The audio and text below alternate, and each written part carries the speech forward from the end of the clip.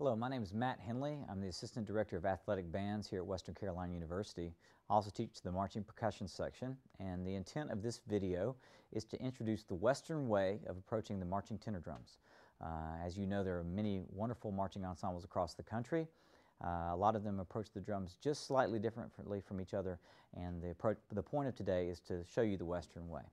Uh, one important thing to think about when it comes to tenor drumming is staying relaxed. You simply cannot play these drums and be tense at all. So uh, a good start, in my opinion, is to just hold your sticks like, um, like normal, drop down by your side, step away from the drums, make sure that everything is relaxed in your torso and your, especially in your shoulders and uh, in your arms. Just move your elbows up where you think playing position is kind of going to be. Everything's relaxed and then you move up to the drums. You address the drums then. Uh, a lot of people start at the drums, and I just think it causes a lot of problems right off the bat. So you want to be as relaxed as possible. Let's talk about the cage for a second. I refer this to this area as the cage, meaning your left arm and the area you're creating with your torso into your right arm. Um, a lot of people will play with a weak cage when they play tenors, meaning they drop their elbows into their body. Um, this is not good. Also, uh, even worse technique is when you stick your elbows out too far from your body, um, which will, will be even worse for you when you start trying to cross drums, all right? So we, what we want, obviously, it's a natural approach. You should have about a fist worth of space in between your elbow and your body, and make sure that our cage kind of stays just like this. Another thing to think about is this V notch in the top of your hand between your thumb and your forefinger is very important. Making sure that you, when you look down, you can see that. If your thumb's too far on top, that's not good, or too flat like a tabletop is, is worse. So make sure that you can see that notch. Also look at the angle from the bead up through my hand. It's, it's very natural all the way up through my arm up to my elbow.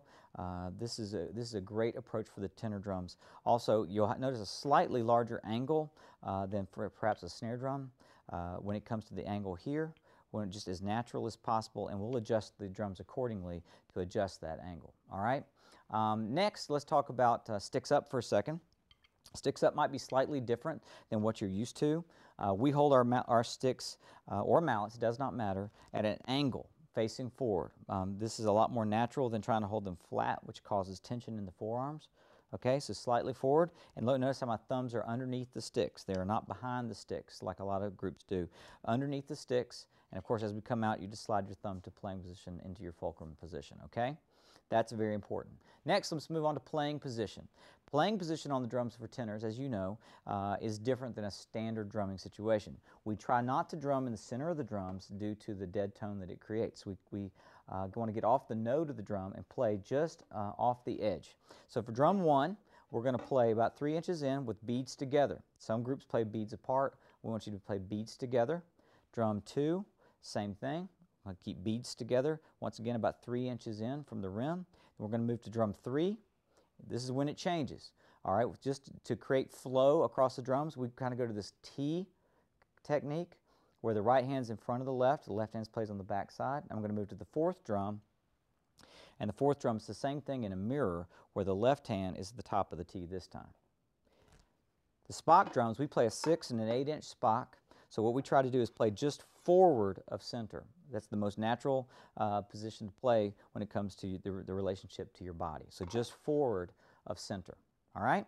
Next, when it comes to playing areas also, uh, in tenor drumming, as you know, is not just about playing on one drum, we have to play on multiple surfaces. So to achieve that, uh, one standard adaptation a lot of people are, are doing these days is what's called the X and Y axis. The X, the Y axis meaning that we, the up and down motion of actually just drumming. So this is your Y axis, straight up and down. Your X axis is the plane that your arms are moving, meaning this way. Okay? And obviously, we combine the X and Y axis, making sure that we are always playing with a straight up and down motion no matter what drum we're playing on. Okay? That's your Y axis. X axis means we just move our arms accordingly to make sure that that happens. That's a big deal. All right? Um, let's move on to stroke types. We try to keep it pretty simple at Western where we use basically two stroke types. Staccato stroke, some people refer to this as a downstroke, where we, we hold our fulcrum nice and strong, uh, we, we hold the mallet or stick in the back of the hand. We don't want to pinch into where it's, we're getting white knuckles or anything, but just firm enough to hold onto the stick to where the entire stroke is being deviated from the wrist only. And you're in control of the rebound, either stopping the rebound or stopping it wherever you want it to. That's West staccato stroke. The stroke we use the most, however, is called legato stroke, which is everything still comes from the wrist, but now we're going to start incorporating the fingers and letting the mallet or the stick come out of the palm of the hand. We use a 3, 6, 9, 12 method of drumming here, uh, stick heights, where at 3 inches, the levels of legato would mean that I use less finger at 3. It's mostly wrist. I'm just letting it breathe a little bit in the back of the palm. 6 inches, I start incorporating slightly more finger. And you can see that I'm starting to let the back of the stick move. nine inches. I'm going to, obviously, now I'm going to have more finger contribution than before, all coming from the wrist, however.